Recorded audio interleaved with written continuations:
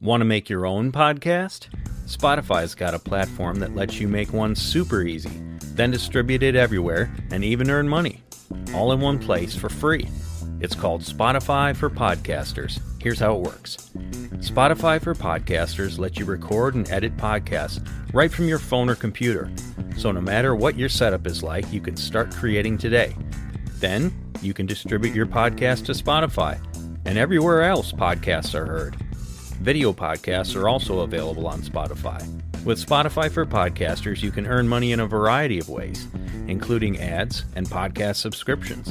And best of all, it's totally free with no catch. Ever since I discovered Spotify for podcasters, I feel like I have an outlet for the creativity and ideas I want to share with the world. I recommend you give it a try. We all have a voice, so share it with the world. Download the Spotify for Podcasters app or go to spotify.com slash podcasters to get started today.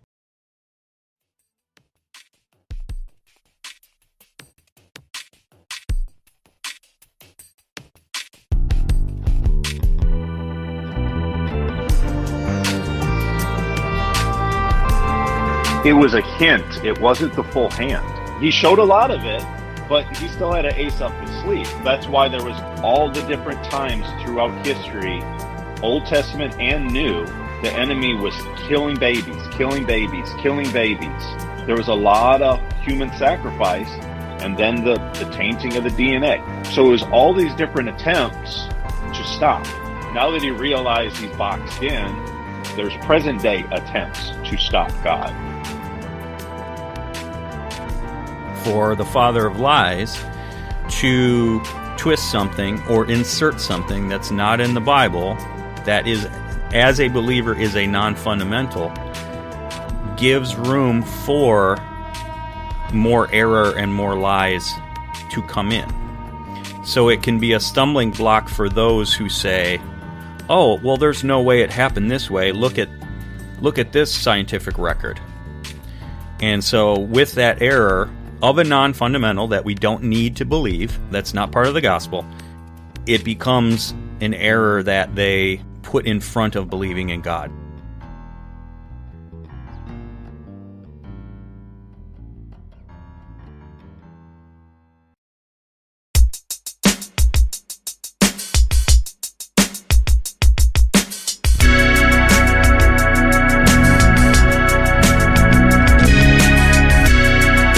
Welcome to the Days of Noah podcast, where we talk all things biblical, supernatural, and strange.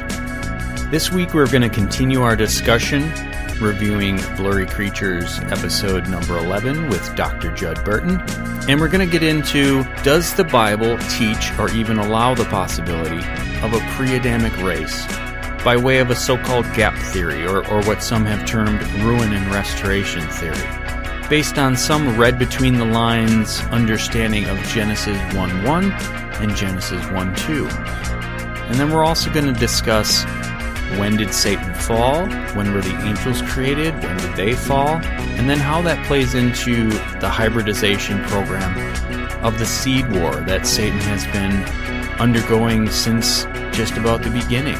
From Genesis 3, the curse of the serpent, the seed of the woman versus the seed of the serpent, and how that hybridization program with the Genesis 6 Watchers ties into today, and how Satan is building an army to oppose God in the end times. All right, well, welcome back, and uh, wow, episode 12 today.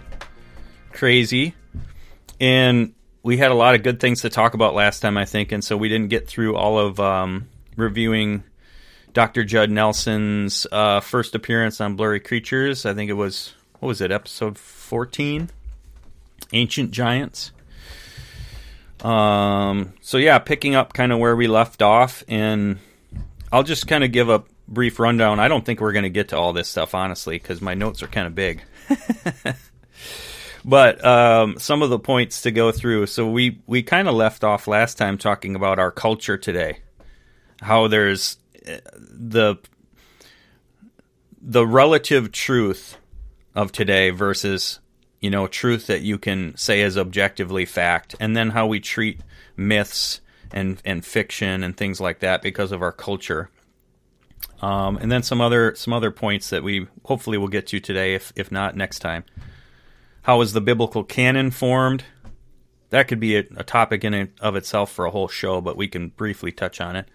Uh, significance of Mount Hermon, um, and then you guys uh, have, wouldn't have gone through this, but I'm. I told Luke uh, I'm listening to the Audible of Ryan Pitterson's book, uh, Judgment of the Nephilim, and it's an excellent um, and study th- through the whole Old Testament of the Bible and how uh, God dealt with the giants. And um, so when it comes to uh, the Book of Enoch and Mount Hermon, which is where uh, Enoch, the Book of Enoch says this event happened in Genesis six. Um, he takes a very low view of Enoch, and um, and says that it's more likely that it was the Jordan River that would have been uh, where this event would have happened. So we'll get into some of that, and then we have uh, the gates of hell and the Transfiguration, which was at Mount Hermon, or Hermon, if you prefer. Um, and then, uh, as some of the links I sent you guys this week, does the Bible teach or even allow the possibility of a pre Adamic race by way of the so called gap theory or ruin and restoration theory? Excellent question to ask because there's a lot of disagreement on that, and that's totally fine because uh, it's it's just interesting to discuss and see where the Bible falls on that. Uh, when did Satan fall? When did the other angels fall? I, I, that question keeps coming up as we talk each week because that's that's a tricky one, and that plays into some of the gap theory stuff too. When were the angels created? What about the sons of God? So some of the uh, some of the ideas of maybe different classes or types or or um, or job descriptions of angels is that the sons of God are perhaps a higher class or a higher job description, higher rank, uh, separately from other angels. Uh, how did the Nephilim return after the flood? Was there a second incursion, or was it uh, through uh, Noah's son Ham? And then uh, dinosaurs after the flood. We talked uh, about that a little bit last week with the book of, of Job and God talking about Behemoth. So, anything right off the bat on those things that you guys want to comment on or ask? Um, I was thinking about uh, the gap theory because we kind of hit that on that last week. Um, might be a good place to start. Plus, uh, some of the things that you shared was referencing that, um, looking at the original Hebrew language and kind of the author's or the the commentator's opinion on that. That would might be interesting to, to talk about. Sounds good, Don. What were you going to say?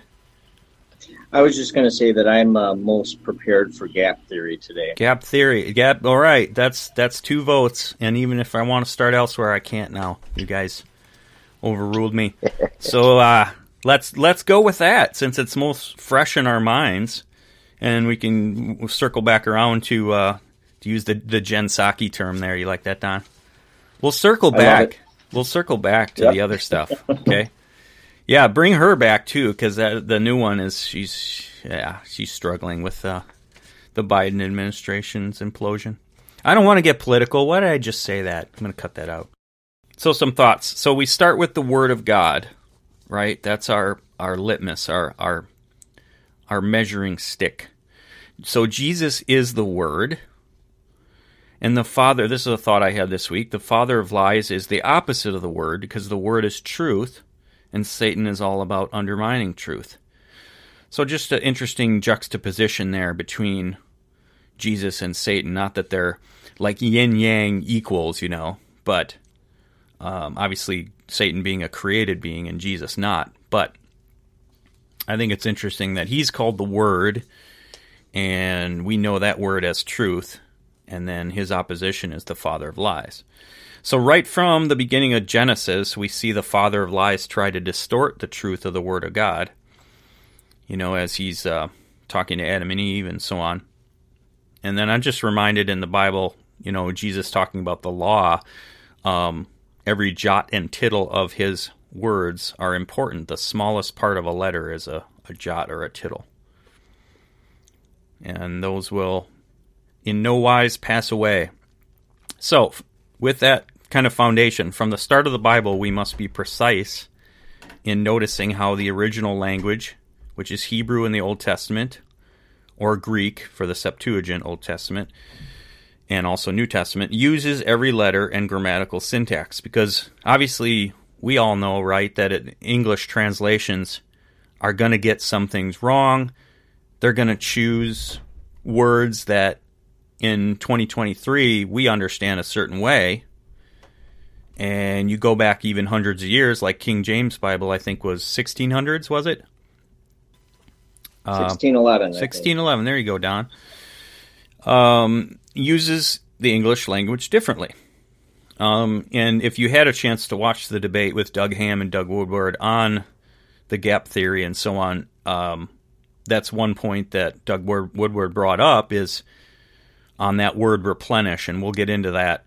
Um, he's like, well, I think the King James translators used that word on purpose. They could have used the word plenish.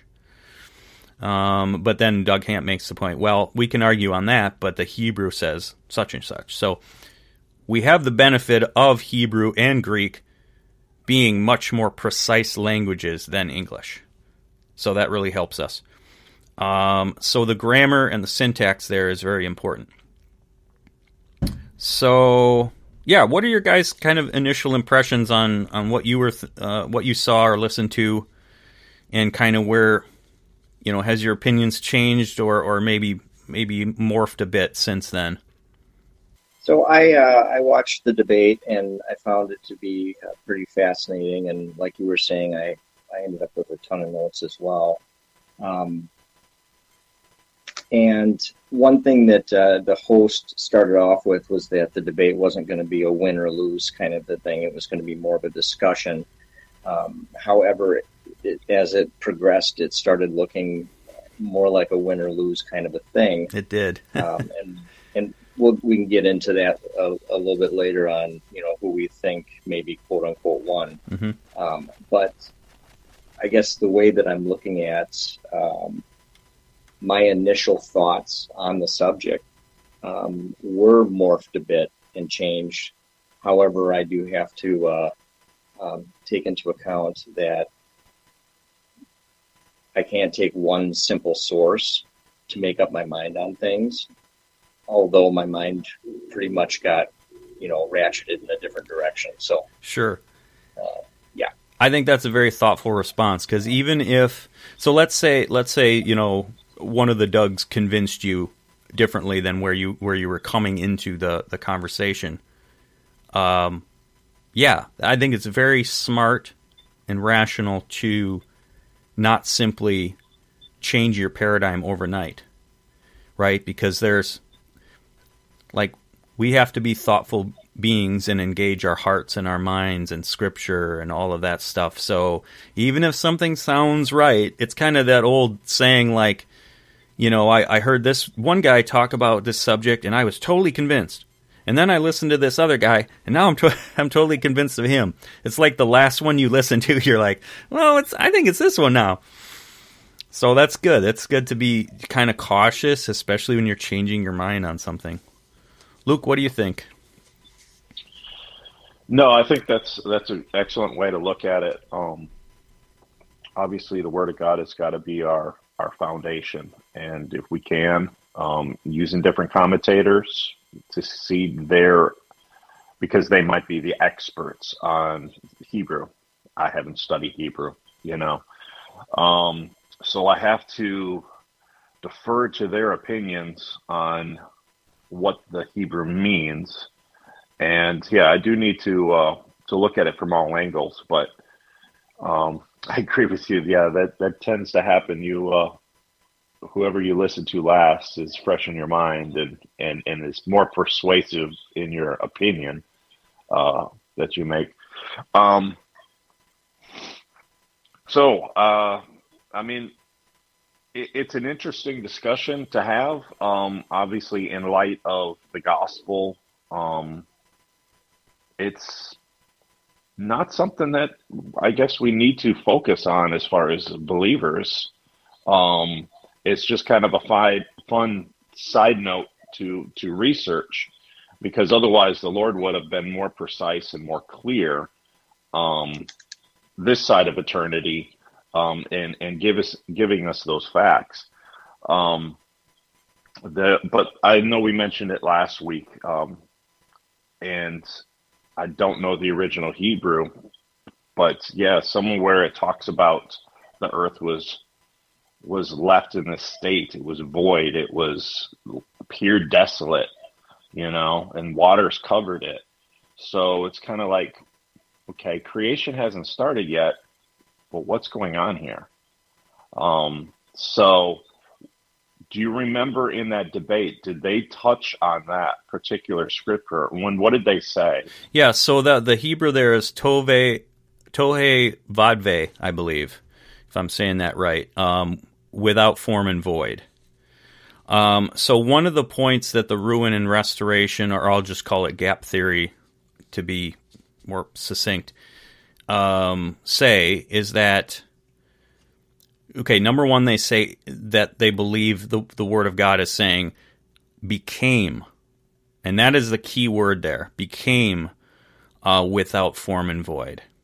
And Doug Hamp is, is making the point that you there's no way in the Hebrew that you can you can translate it that way. And then the other thing is they say, well, there's darkness, and that must mean judgment and evil and so on. And yet there are places in the Bible where God refers to darkness, and it's not it's not necessarily meaning evil or judgment or something bad, right? Because even in Genesis it says God created the light and the dark. So they're kind of they're kind of running with that word darkness and saying that it means evil, and then they're also kind of inserting the word became uh, without form and void. So and and so and, and this kind of gets into the grammatical uh, discussion that Mike Heiser and Doug Hamp both agree on, which is you have a parenthetical aside in Genesis 1 2 where it interrupts the, the, the flow of thought. And actually, Genesis 1 1 and 1 2 uh, have a kind of a non narrative they're they're they're set up differently in the Hebrew than one three and and following. Um, and then if you watch the one video with uh, Mike Heiser, he he plugs in to his Bible software and does a search for I think it's the the word is vav in Hebrew, and it highlights in red all the times that that word pops up because it's a very common thing in in in the syntax it does not show up in verses 1 1 and 1 2. Okay. And so basically what he and Doug Hamp are kind of agreeing on is that there's no there's no place in the grammar for uh, this gap theory to happen because what the gap theory asserts or at least says is possible is that between Genesis 1 1, in the beginning God created the heavens and the earth, and then 1 2, now the earth was, formless and, and void, that something took place and some amount of time happened and some destruction and so on and so forth. And so the way that uh, they're understanding the Hebrew is that the grammar is precise enough to not allow that to be a possibility. It's, is kind of what I gather from them.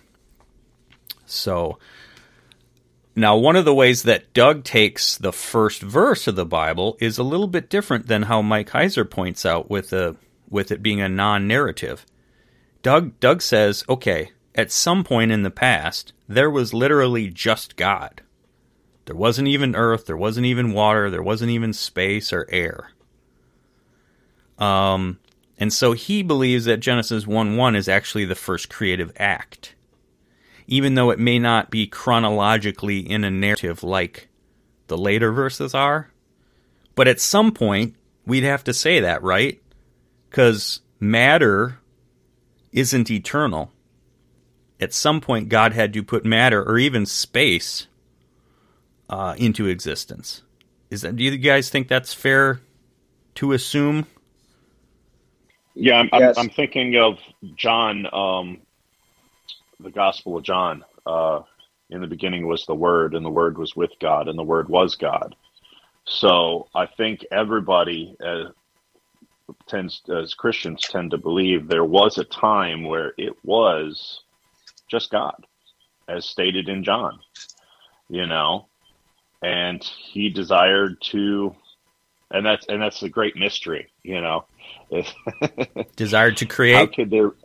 The desire to create, the desire to have a family, a desire to have fellowship, and uh, I made reference. I called you uh, to episode eighty nine of Blurry Creatures. Daniel Duval, and yeah, and he, he was talking about. It was interesting how he described the angels hmm. and how they were not not only were they created by God to fellowship with God, but they fellowshipped with one another and that right. they among themselves were like a family. Yeah. So it's like you know brothers and sisters and type of thing, and then then humans were created. So it's just it's interesting how the Lord did that, and then uh, mixed in free will. But um, yeah, I think we're in agreement that yeah, uh, God was here before all of us, before anything, matter, space, time you know, he was eternal. Um, so yeah, Don, you were going to add something, or just agreeing on that kind of what Luke said. I was agreeing, and um, one other thing that really, really popped out to me um, during the entire debate is that when I came to the end of the debate, or as we were kind of coming to the conclusions, um, I I really fall into uh, Luke's camp where it really came to me that the level of importance now not to not to shoot uh, the show in the foot here no i know i know what you're saying. importance. Yeah. Yeah as opposed to the gospel right. is just uh, it's unmeasurable. And uh, but again like luke was saying this is a it's a fun topic uh, to talk about. It's also um, it also shows how big god is because uh, look at all of the discussion and books that have been written about two verses or even one verse. And that's the beginning of the Bible. There you go. Now, um, thank you for bringing that back up because I did want to comment on that when, when Luke brought that up. So, yeah, I'm in agreement with you. It's in terms of for the believer, it is a non fundamental. Is that fair to say? Okay. However, as as in many things, and Luke and I have had discussions on, you know, how, how I have an alternative view of, of the cosmos and the universe. And, and, and I think Luke, you've made the point that that's, that's a non-essential. We can be a believer and, and have differing viewpoints. And that's true. However, for the unbeliever, for the father of lies to twist something or insert something that's not in the Bible that is, as a believer, is a non fundamental, gives room for more error and more lies to come in. So it can be a stumbling block, block for those who say, "Oh, well there's no way it happened this way. Look at look at this scientific record." And so with that error of a non-fundamental that we don't need to believe, uh, that's not part of the gospel, it becomes an error that they put in front of believing in God. So, for that sense, it is absolutely important for the people that are kind of led astray. And, and and it doesn't even have to be in the category of an error. It could just be um, a non-clear point, uh, yet to be understood truth. You know, um, because it's not expounded on in the Word of God. Um, so it leaves room for interpretation. It leaves room for the enemy to insert, as you said, lies and deception and twist it and take it this way, you know. And it does. It does it really matter if um, science is correct and you know it's billions of years versus thousands of years, um, young Earth versus old Earth? I don't think it really does. Um, I think I think as believers we all agree that at some point things happened um, in six days. Was six days twenty four hours? We don't know if it was or not. You know, could could time have started uh, a week later? you know? Right. Yeah. Well, yeah, and that's and they I believe it's in the debate they address that where um, I think Doug says every time that uh, the word day is used uh, in the Old Te- I think he says Old Testament, maybe the whole Bible, where it has a, n- a numerical value with it, it's referring to a day as we understand it. It's not like a, um, you know, well, in my day, I used to, you know, so and so walk 10 miles to school both ways and five feet of snow. I mean, you think, you think about time that is finite to us, mm-hmm. but an all powerful creating God in a 24 hour period within a second or 60 seconds, how much he can accomplish. Oh, yeah, exactly. you um, know, so I, he doesn't need a lot of time. So, so God, were you were you resting at you know 10 p.m. because you accomplished everything for the day? Yeah, yeah. You were ch- you were you checking know? your Twitter account. That's awful.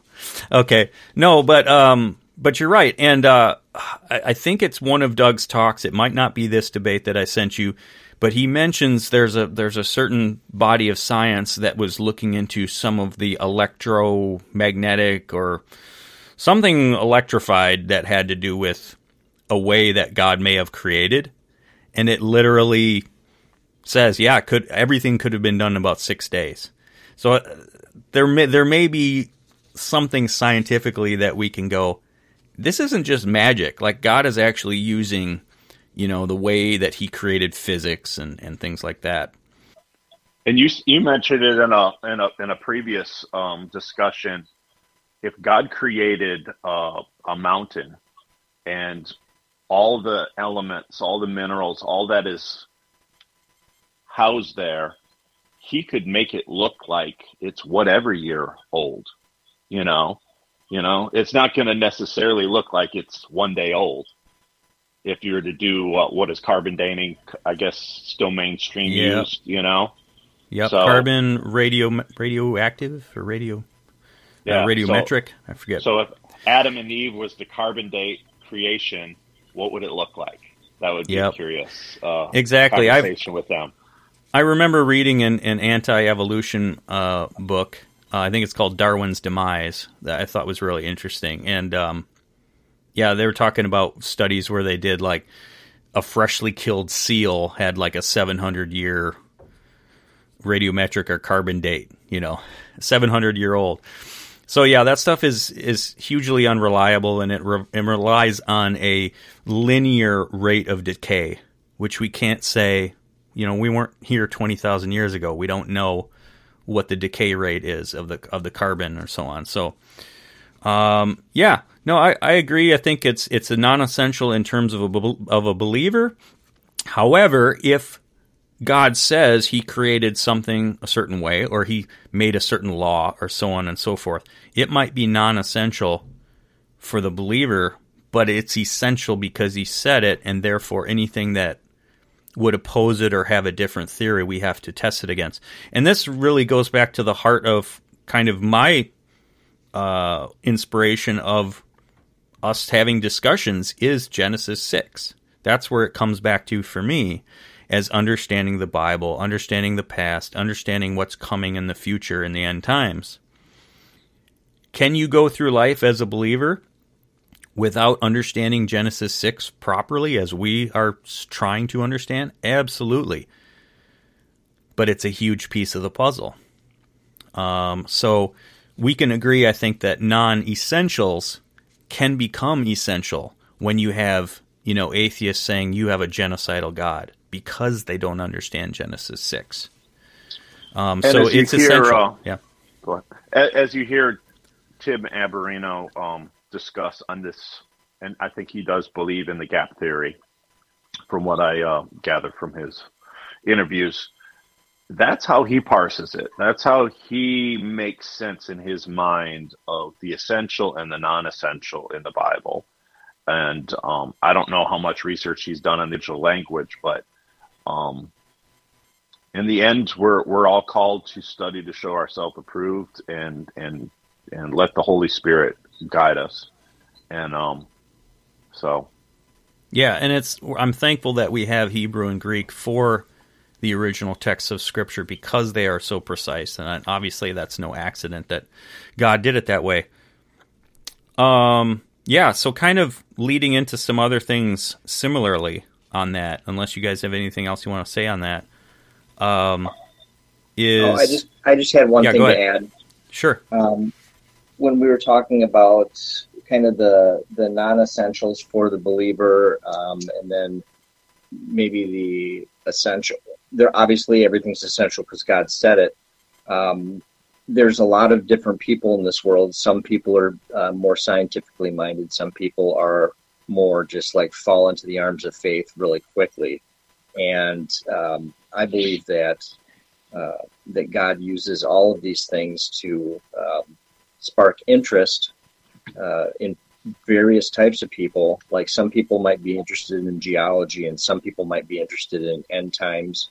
Uh, some people might. Be, I mean, that's what brought me to uh, to be a believer was uh, the the end times fascinated me, and it wow. just it just fascinated me, and and um, that ended up leading me to Christ. And so, um, I think that uh, all of these all of these uh, verses and all of these ideas that are in the Bible uh, not only important, but I think that they draw in uh, people to either believe or disbelieve. Right, from all walks of life. And yeah, we, uh, a former pastor mine said it kind of this way like we all have different buttons that we need pushed in order to come to faith and it's different for every person and and you might sow a, a seed of truth and and and for them to to come to push that one button and then 5 years later someone else pushes another and then a few more and then they become they come to faith but yeah mm-hmm. I was just talking to to my wife about this this morning that you know you can receive uh, God's truth like a little child and have very immature understanding of how things work and not be able to articulate, you know, to a, a, a hardened atheist all of his good questions that he's asking and not be able to have answers to that. And you can still be a believer. But I'm thankful that there are good answers. And with study and thought, um, truth will stand up to scrutiny. And uh, and and I'm I'm thankful for that. So yeah, um, you know, last week, Doug, uh, Don, you you asked about the word replenish, and I just want to touch on that again real quick. Is um, if you if you watch that three minute section towards the end of that debate with the two Dougs, uh, they brought that up, and and basically, um, Doug Hamp was saying that in the Hebrew, uh, it simply means to fill. Um, so why the the King James used replenish?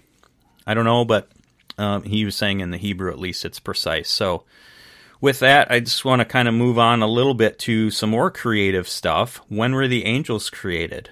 And I'm going to throw out my opinion, guys. I think it's day four. Day four is when it says, and he created the stars also. Because they're not really mentioned otherwise. And we kind of know stars are talked about as divine beings in the Bible quite a bit. So I'm wondering if it's there. Now, of course, we have to balance that in light of Job 38 7, right? The morning stars and the sons of God were there at the foundations of the earth. So they were there.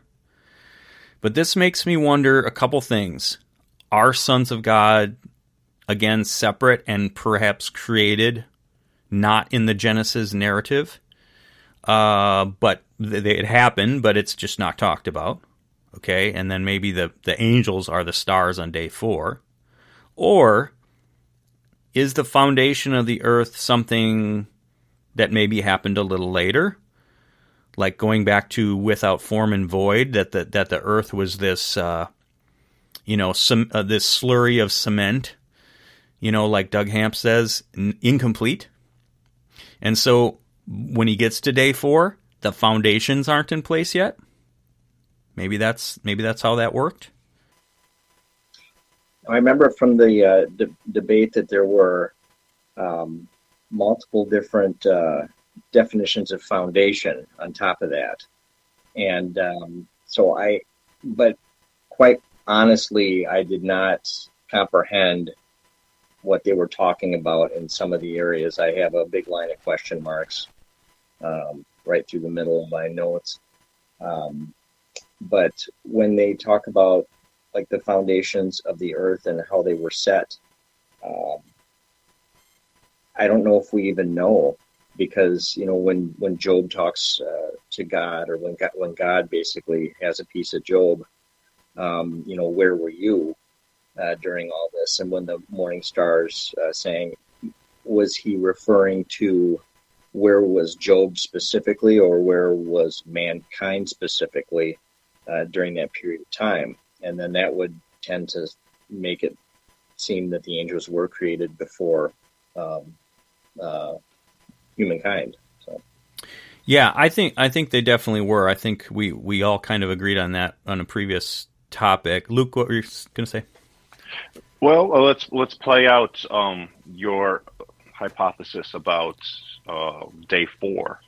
Okay. So if we were if we were making reference that in the beginning was God, there was nothing else, and then he's doing this creation that's described in Genesis, and it's a 24 hour period.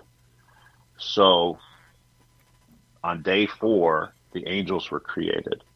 So in a short period of time after they were created, there was a rebellion.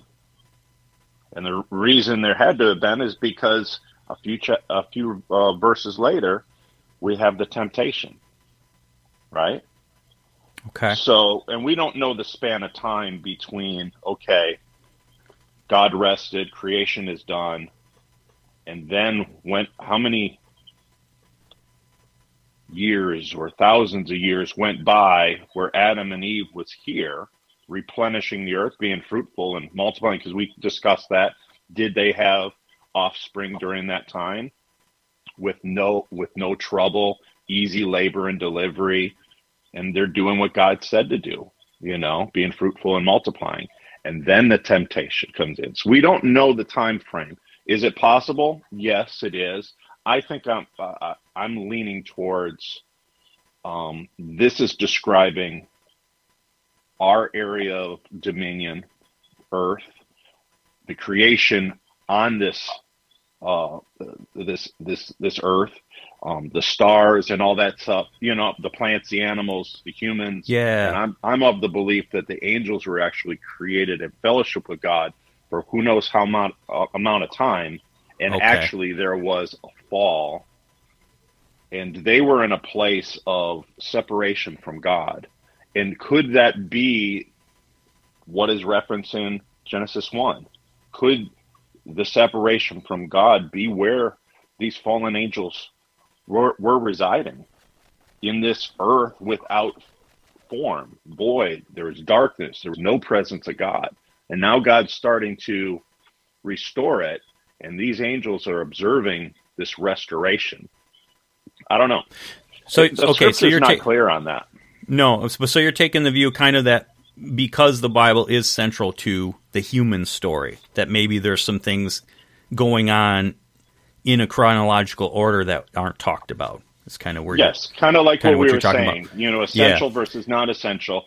And as far as our redemption as humans, that's what the gospel. That's what the the book is about. It's about humans history, and it only touches kind of like with the the giants and the Nephilim in Genesis six. It makes mention of it. It doesn't deep dive into it because it's not entirely essential. Well, also, and it was understood. I think the the readers, I believe, were understanding understanding it. But um, no, I and I and I like how you kind of left room for the we don't know the timing because yeah, Adam and Eve could have been in the garden for decades. You know, um, so, so kind of what I come to is that on day six, God said everything was very good. So I'm leaning towards no fall of any angels or anything, no death, no sin at that point because everything was very good. I would disagree. Okay. Because I think he's making mention again. If this is describing human occupancy, Earth creation, so it's a li- it's a limited. Everything is good because I'm talking about Earth and humans. It, yeah, he, I don't think he's referencing everything that I created ever. You know, if you go back to the original, in the beginning there was God. The so he created, um, in my opinion, angels first. But what he's referencing each day, it's good, it's good, it's good. He's reflecting on those six days, it's good. I, I'm thinking that's all those things because if well let's just play it out if he created the angels on day four and they fell why is god calling something good that he created that fell so that. so yeah so with that let's let's assume what i'm saying is correct and everything was still good and no, no one fell day six right then you've got who knows how long let's posit years in the garden um so somewhere along the line after bad? yeah after that so that's Maybe. where i'm at this point uh, I'm leaning towards the first act of sin and rebellion was the serpent in the garden.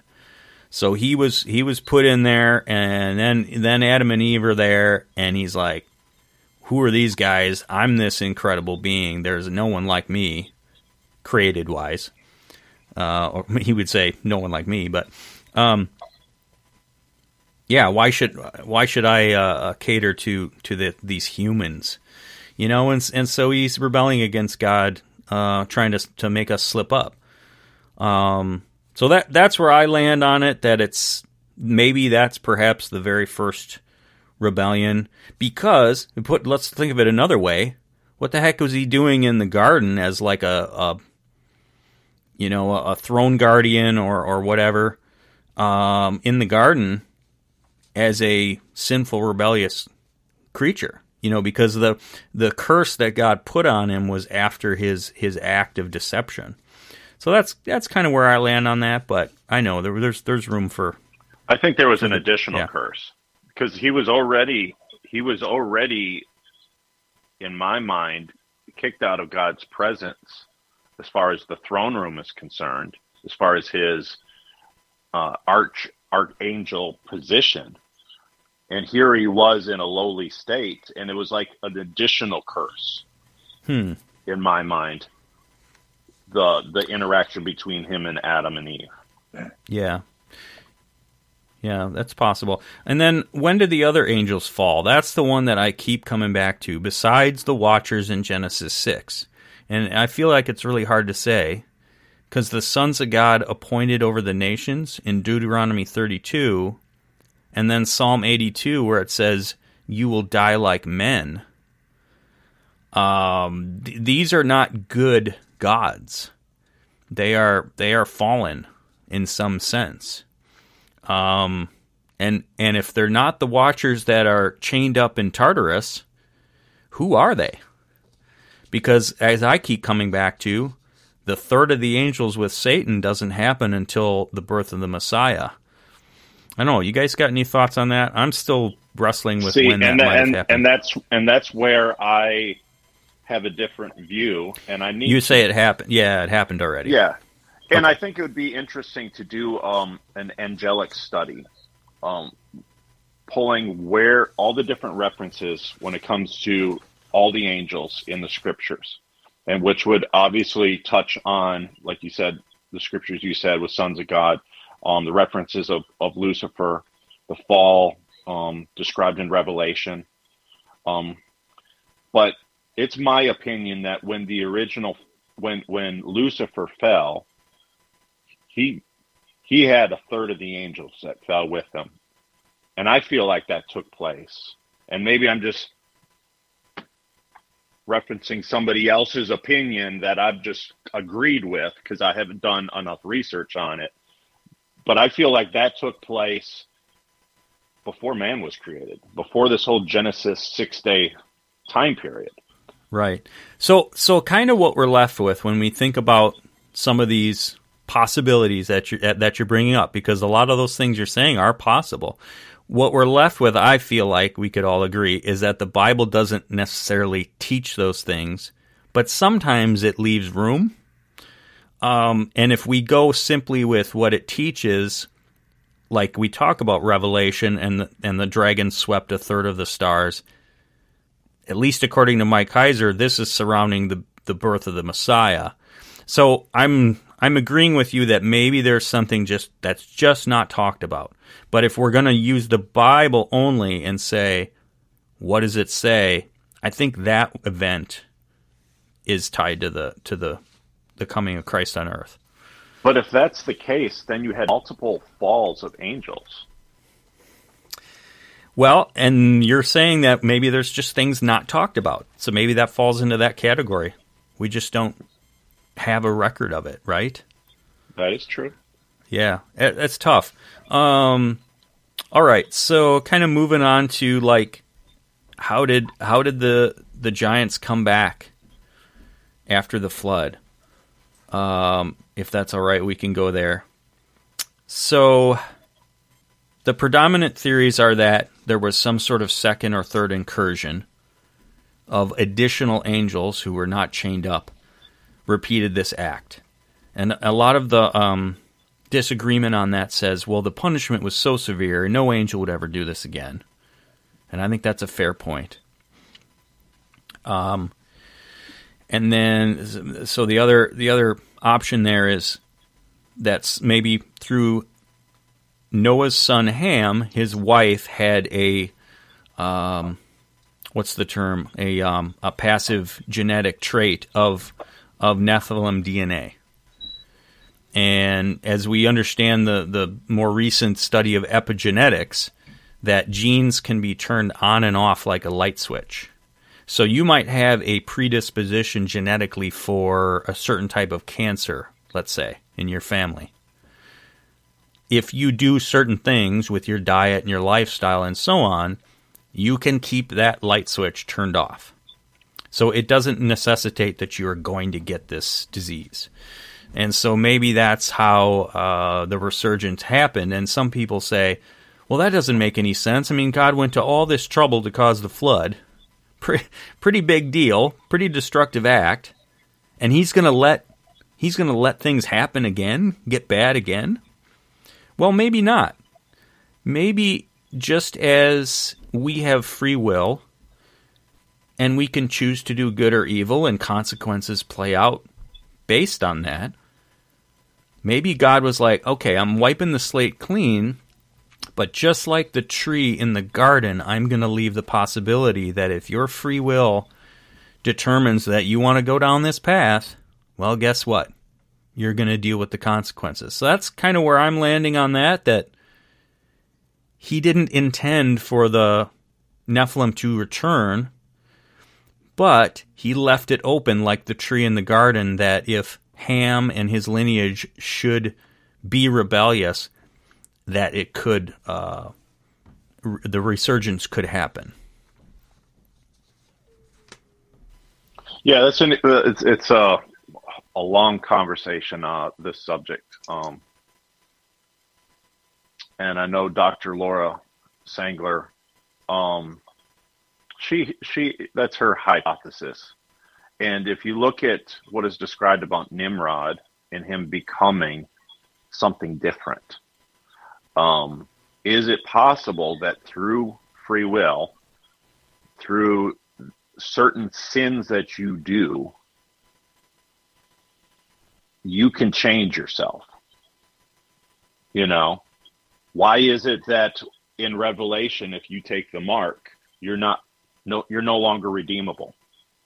That's an act of free will, something you did and it's tied to worship to the beast system to the antichrist to this god creature you know um, in the future and now you're some something changes so what did nimrod do in his in in, in his free will that ch- that that caused judgment, that caused him to change.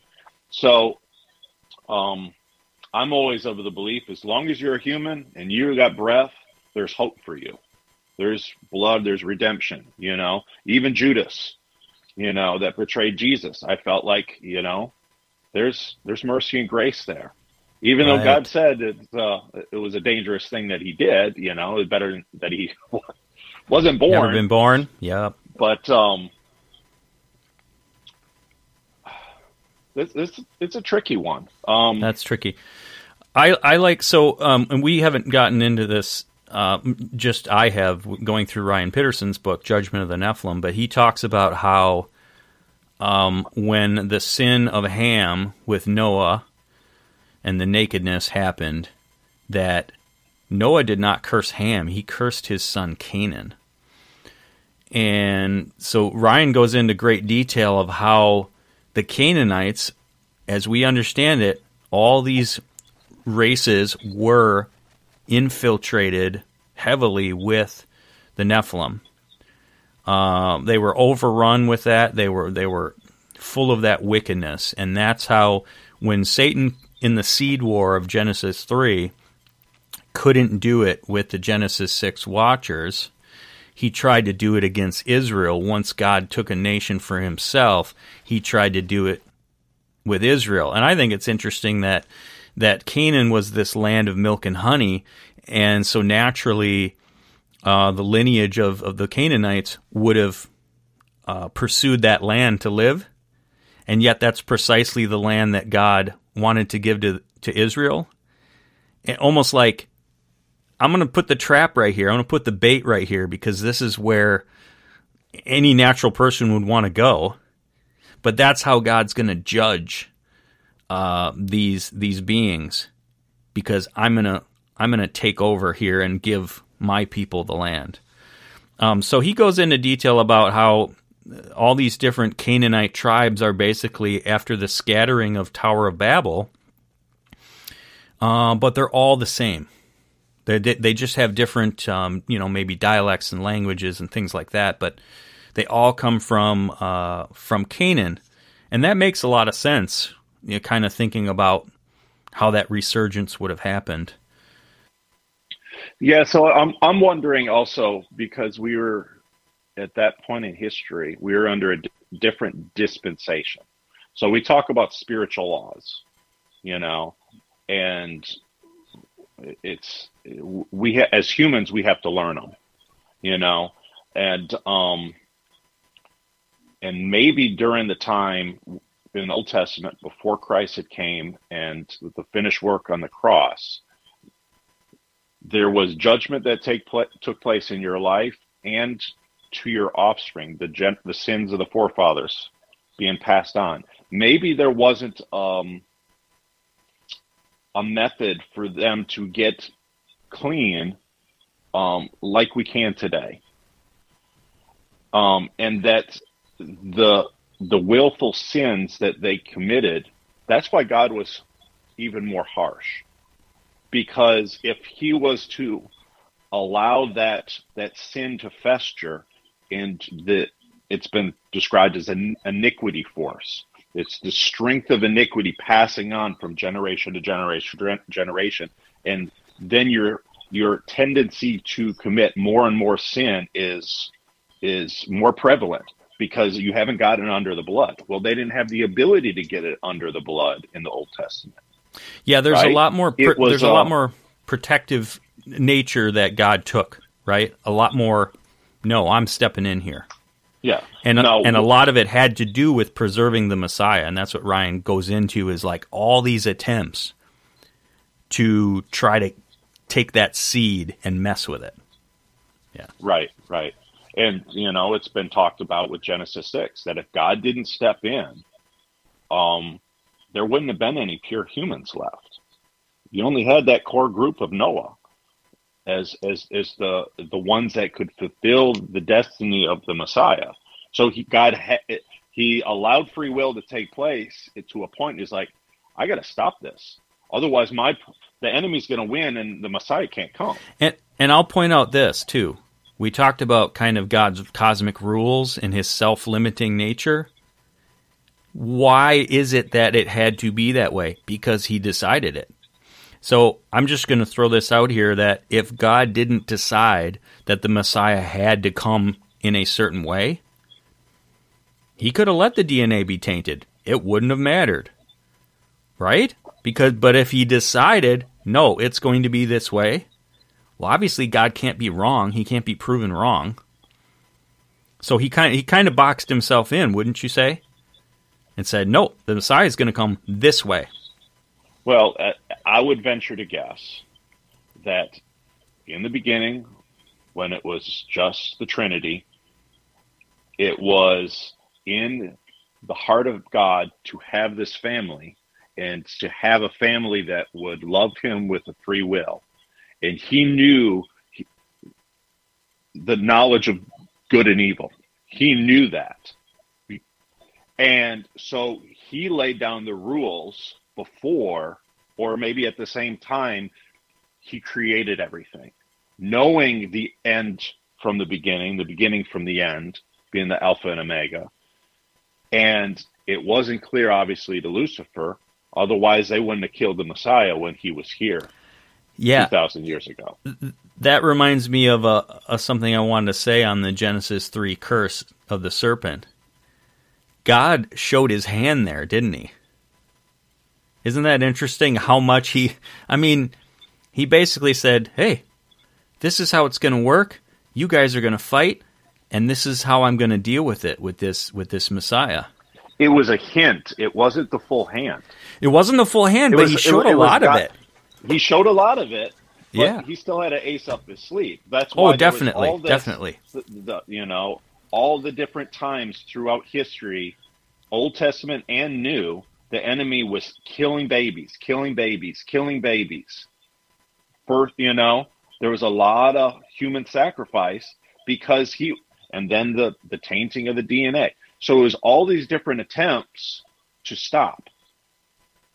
You know, well now now that he realized he's boxed in, we're talking there's present day attempts to stop God. Yeah. I know? just think that's I just think that's um it's almost a bravado of God to say I'm going to show you half my cards and I'm still going to win. You know? It's like he's playing five. Well, that's chess, just it. He's like, know? I'm gonna I'm gonna start with a uh, I'm gonna start with a rook and four pawns and a king and nothing else, and I'm still gonna beat you. it's just God. God is Rain Man. He's counting cards. Oh man, I'm counting cards. His dress was very sparkly. um. Okay. Oh. Okay. Here's another thought, guys. So we talked about the seed of Satan in some of these episodes, right? the seed of, of the serpent will be at enmity with the seed of the woman. So, what if, and Luke, we know this goes on today, according to SRA survivors or overcomers, that they attest in their in their testimony that literally Satan is the one who is impregnating them okay, and creating and, and creating this rehybridization just like in Genesis 6. So if we take that as fact, if we say that that's possible, what if Satan himself could have been part of or the sole uh, progenitor of the return of the Nephilim? Okay, so if he can do it today, couldn't he have done it back then? Because if these 200 watchers are chained up in darkness, they can't do it again. Let's assume that no other angels attempted it, but somehow this guy Lucifer was allowed to. He's allowed to hang out on Earth even to this day, right? So, one thing we do know that humans are messing with genetics. Mm-hmm. They're doing it in petri petri dish, dishes. They're they're splicing DNA, right? And they're they're doing Jurassic Park type stuff. Right. Right? Okay, so we talk about Genesis 6 that they took wives. That's the actual act of procreation. But I believe they understood genetics to the point where they didn't necessarily have to do that that physical act. They could take the essence in the blood, just like we're doing today. Like they're they're smarter than us. So there's things that they could have been doing, messing with the DNA back then, and even teaching us. You know, we talk about the exchange of knowledge that took place in the past. I believe there's um, Pastor Doug Rigg believes this. Um, he references when Jesus is tempted by Lucifer, and um, he's showing him all the the nations of the world, and it's very possible that what Lucifer was showing Jesus was future kingdoms. You know, like you know, all this is available to you if you bow down and worship me. Well, how many human men have actually sold their souls? Has has given over and done this exchange um, for knowledge and stuff. So I don't know. I I feel like um, I forget your question. Exactly, well, I was but... I was positing the idea that that we know with SRA overcomers, their testimony is they literally were impregnated by Satan himself. So if that hybridization is going on today, couldn't it have gone on long ago, leading to a resurgence of Nephilim? Because he's not chained up in darkness, never to do it again. Very true. So that that would lay to the thought that there could have been and probably was another incursion that didn't receive that same judgment, or just him. And as or well, uh, the way Pastor Doug um, describes it, hearing that from multiple te- uh, sources. Okay. He he's of the opinion the devil knows his talking about Lucifer, the head one, knows his days are short, and he's pulling out all stops to bring forth his antichrist, the op- the opposite Messiah, and he's willing to commit. You could say the, the worst sin or the original sin. You want, however you want to look at it.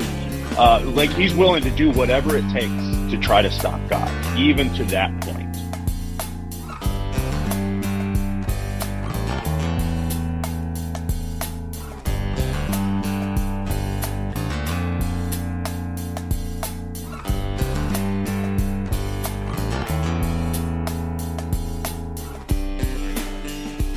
He's already seen the judgment of those Watcher angels. Yeah, exactly. So yeah, it, it is an interesting uh, road you could go down. Uh, L.A. Marzulli talks about it with, uh, and even the Pentagon released information about people being abducted and the pregnancies, and they confirm the pregnancies, and yeah. confirming pregnancies, and then the the babies are gone. So there is a, a something uh, sinister going on under the surface. Yeah, and LA puts it this way that Satan is outnumbered two to one. You know, he's got a third of the angels, and he's got the demons, if we want to call those a different class, which I believe they are, a different spirit. But um, yeah, so he's he's trying to build an army, is is one manner of thought, and through this hybridization program.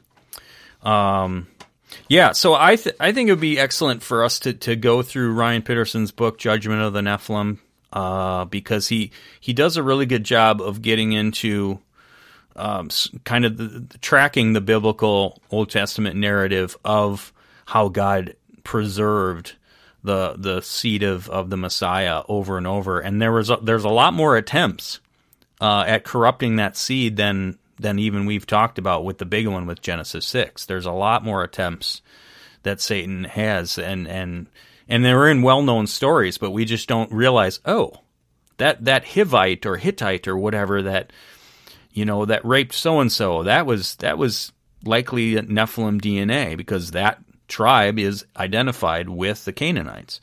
So um, I think that would be really good to get into. And um, yeah, with that, I think we're going to have to save uh, Mount Hermon versus the Jordan River for another time, and then uh, maybe if if we do want to all uh, get that book, um, then we can we can just jump to that section so you guys can be kind of read up on it and then, yeah, I want to get into kind of the gates of hell and transfiguration at Mount Hermon as well.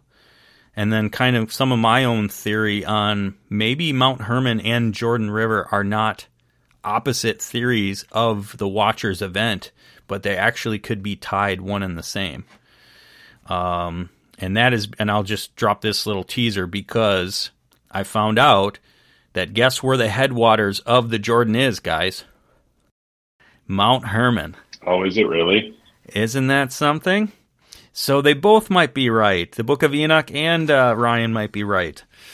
Um, so we can get into that, and then yeah, and then we can touch on dinosaurs and Job. It's got some thoughts on that, and yeah, we we touched on most most of the other stuff. So um, yeah, we'll save it for next time. But this was great. Anything else you guys want to say? One thing from me. Yeah. Um, SRA, what does that mean? Satanic ritual abuse. And we're okay. we're gonna dive into that and discuss in much more detail in the future. Luke and I would both like to do that, I think. And the late Pastor Doug Riggs uh, was a forerunner of counseling these women.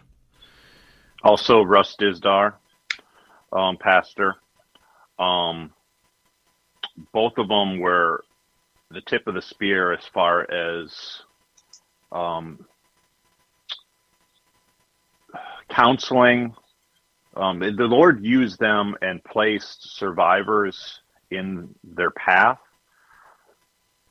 Probably because they that was just part of their destiny to to learn, to expose, to have the uh, uh, the ability to um, help them through the process to healing. And so you have survivors from around the world from those two men primarily, and there's others. And now I'm, I'm I've got a book. Um, so it's a survivor. She's she's helping other survivors, you know, um, in Texas. So there's it's it's it's coming out their stories of testimony um, of what they've been through. They don't know one another, but their stories are, are aligning of, of experiences, what they've seen, um, because of the trauma they experienced at a young age, uh, even at an infant age. It's called uh, DID or multi personality disorder, um, dis- dissociation identity disorder is what they renamed it. And um, so as they're they're getting their mental capacity uh, or their their parts are coming together and being healed, they're they're remembering.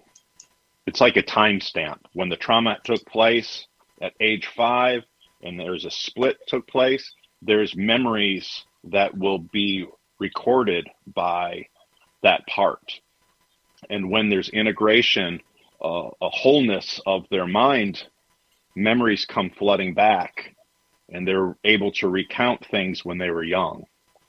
And that's where the stories from different people around the world, as they're sharing it with their counselors or their pastors or whatever during the healing, or just, you know, testifying what the Holy Spirit is helping them heal, the stories are coming together and, and, um, you know, in the mouth of two or more witnesses, you know, it's being established. That's right. Truths. And and same with abductees. Uh, UFO abductees are having similar experiences. Um, right. L.A. Marzulli has in one of his videos.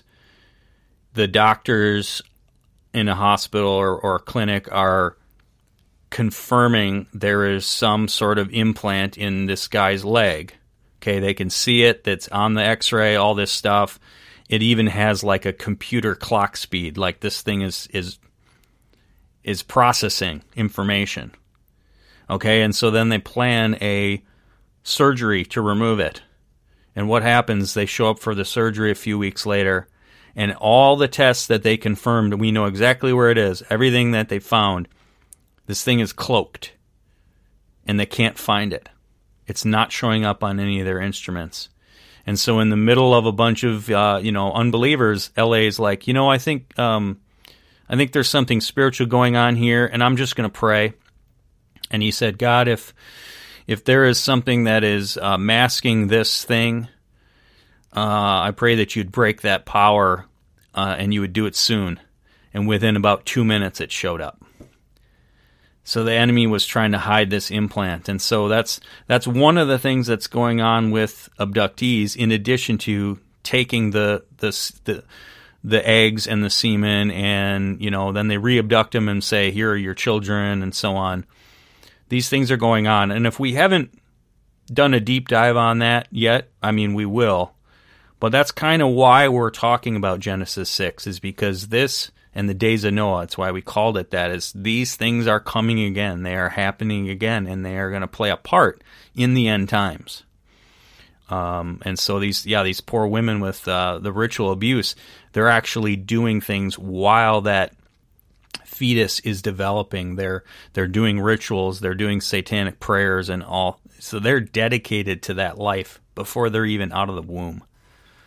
Um, so one it, of the interesting yeah. things described um, an, uh, a minister um, in Texas has described it like this: the difference between someone that just has some trauma as a young person and and they have a split personality versus someone that's an SRA survivor. So the biggest difference would be both of them have splintering that takes place during the trauma, but the one that doesn't have a handler or it's not purposeful splitting. There's no programming going on. It's just broken puzzle pieces over here. So if if when when there's someone that's an SRA situation, the trauma is taking place on purpose with the organization and the programming to use those split personalities for a purpose um, you could almost look at it like a Jason Bourne type of thing. Well, like the MK you know, MK different... Ultra, right? It's it's it's MK Ultra. Um, Joseph Mengele was um, one of the pioneers of this technology, so that's a research right there on on what he did and what he did after uh, World War II. Because they learned that trauma creates this. Correct. Right. Yeah.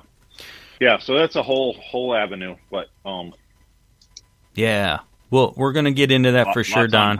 Good good question and um yeah, Luke's got more more um uh, more of, of deep dive into that than I have, but you know, he introduced me to Doug Riggs and uh unfortunately he's no longer with us, but his ministry lives on, his website, his videos are all still intact.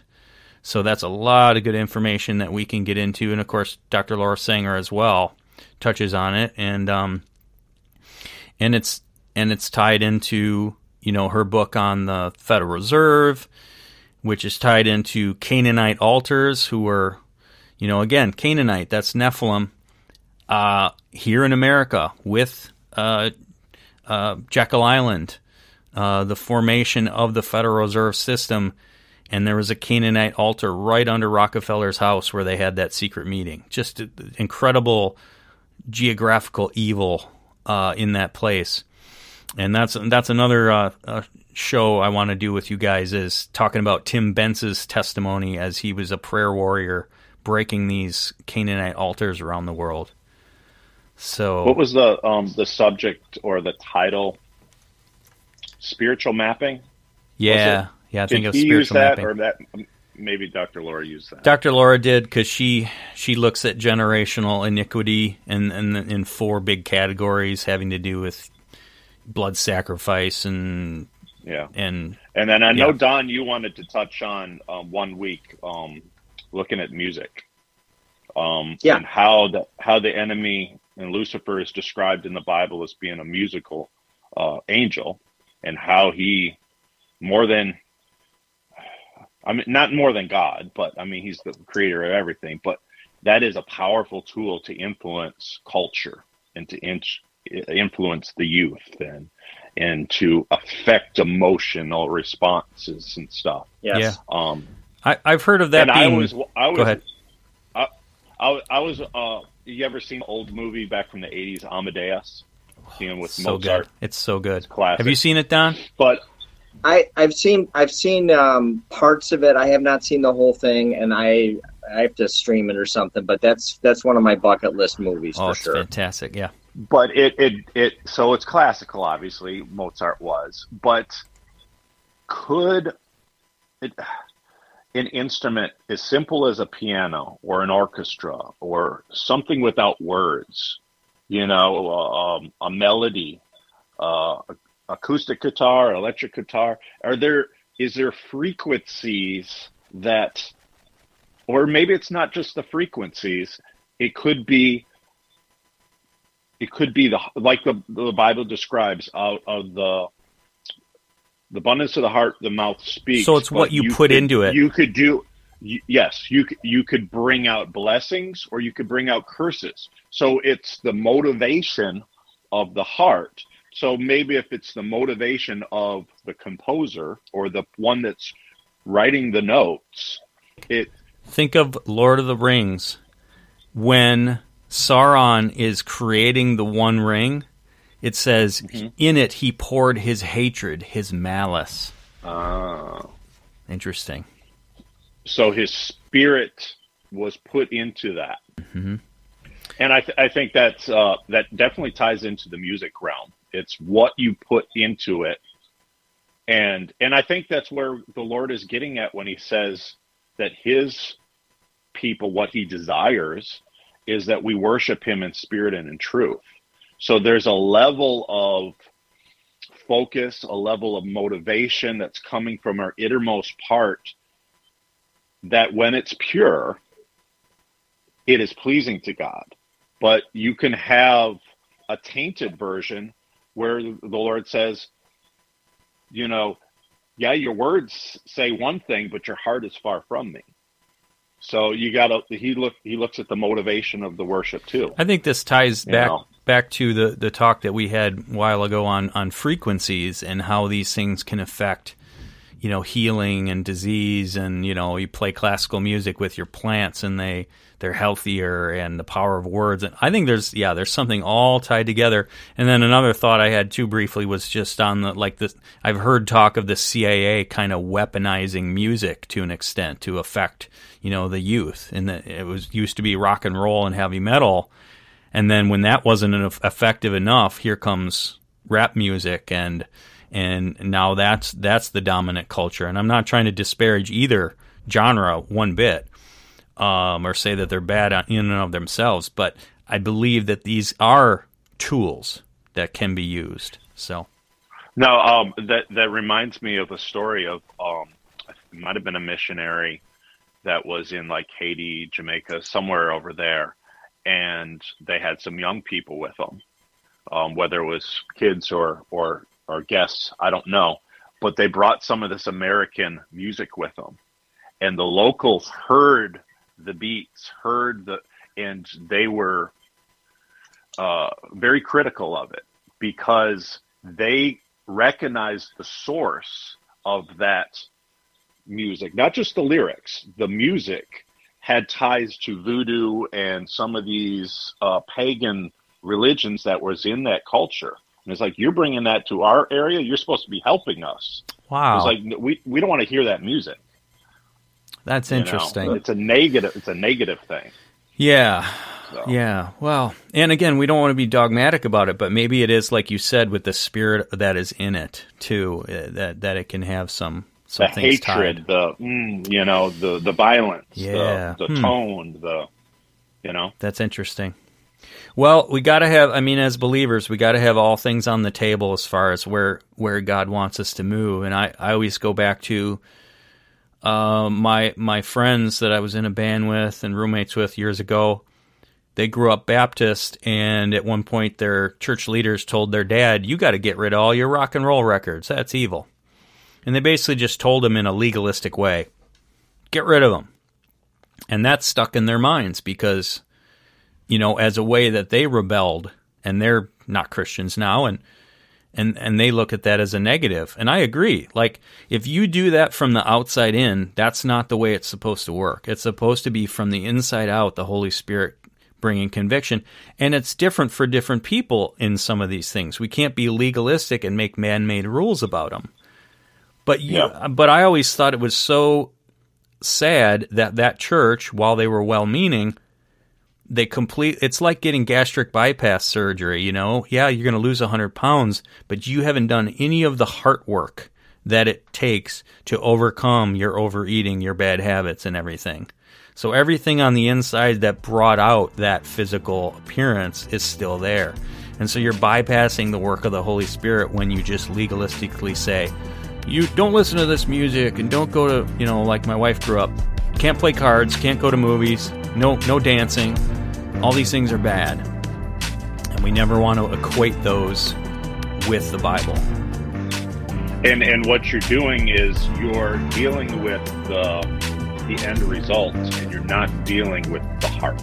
Yeah. God cares because, about the journey. You know, it, it, it's the it's the root of the matter that that God is trying to get to. I know. Right. Excellent. Well, with that, we'll wrap up. And um, yeah, so let's talk uh, Ryan Pitterson's book a little bit this week, see what you guys think. And then we'll get into Mount Hermon and uh, Gates of Hell and the Jesus Transfiguration and some of that stuff. Sound good? Sounds good. work. All right, fellas. All right, until next time, have a good weekend.